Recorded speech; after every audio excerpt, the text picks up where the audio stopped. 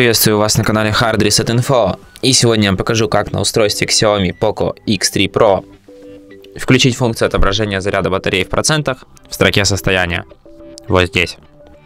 Для этого в первую очередь переходим в настройки. Затем в раздел питание. А, затем переходим в настройки батареи. Так, нет, дезинформация. Переходим в цен... управля... Э, уведомление, центр, строка состояния. И здесь индикатор батареи. Можем его не показывать вовсе. Можем показывать в значке и можем показывать возле значка. И тут теперь мы видим наш заряд батареи в процентах возле значка батареи. И на этом все. Спасибо за просмотр. Подписывайтесь, ставьте лайки. И пока.